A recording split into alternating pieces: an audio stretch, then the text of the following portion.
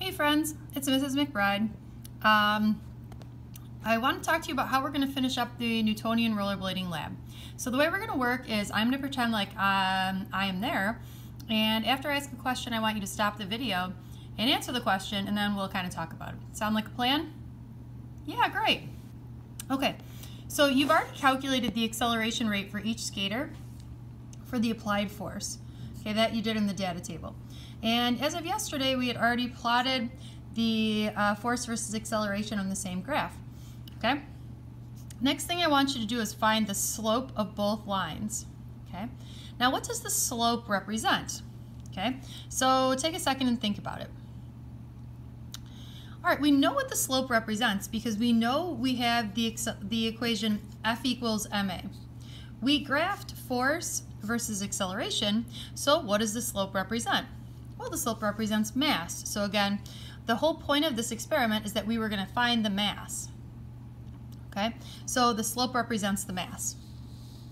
Next, ask yourself which skater had the greater acceleration and why. Pause this video for a second and talk about it. So the skater that had the greatest acceleration should have been the skater with the largest, uh, or excuse me, the smallest mass. Because we talked about this the other day, that when your mass is smaller, your acceleration is larger. So you should have hopefully seen that Adam was the one that had the greatest acceleration. Okay, last question is why doesn't the graph begin at the origin and what does the y-intercept represent? Stop the video and ask yourself, what do you think? Why doesn't the graph begin at the origin? Okay, so the graph, if we think about our graph, on the y-axis is force, so the y-intercept must represent some sort of force, right? In this case, I hope you said that the force was friction. Okay, so the graph does not begin quite at the origin because you have to overcome friction in order to get moving. Okay, um, and again, the y-intercept, this represents the force of friction. Hope that makes sense. If not, let's talk about it on Monday.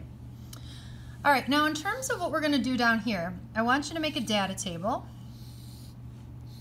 Okay, and in this data table, we're going to have their actual values, their experimental value, and their percent error.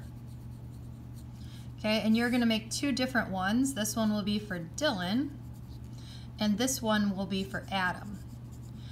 Now, the experimental value, this is what you're going to get from your slope, right? So we're going to find the slope of each skater. The actual value, I've forgotten because I didn't write this down. Okay, your actual value should be these two values together. Um, this, this is this. I think Dylan's was 85, so this would be like your 85 plus 12, or his actual value should be like 97. Okay, and then you're going to find the percent error for each one of those guys. Does that make sense? Wonderful. Okay, once you're done with that, we're going to write a conclusion.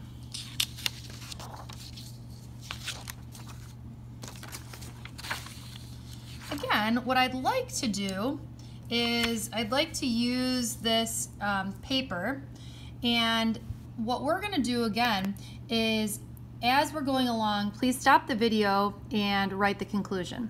So the first part of the conclusion is the claim. Okay, so what I want you to do is identify the purpose of the lab and how it was met. So in this case, the purpose of the lab was to calculate the masses of the two skaters. So you're going to write something like, the purpose of this lab was to find the masses of two skaters. In the evidence part, we're to write two sentences. We're to write, in this lab, we, okay, and then I want you to tell me what you did, okay? What specifically did you measure?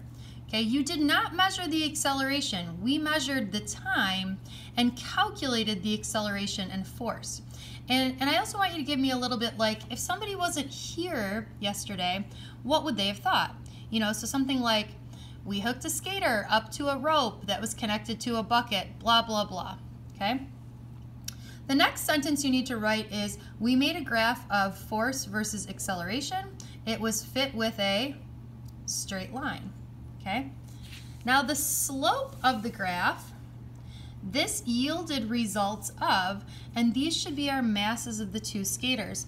And again, these are the skaters' slopes, right? Okay. The actual value of each skater and the percent error, and that should be from your table on the previous page. Okay, and the last sentence that I want you to write is two sources of error in this lab are. You don't need to write anything else.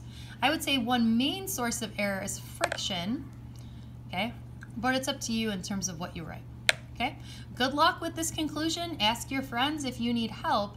Um, please turn this lab in, and once you're done with this, then you guys are going to start the next lab. It is lab heaven.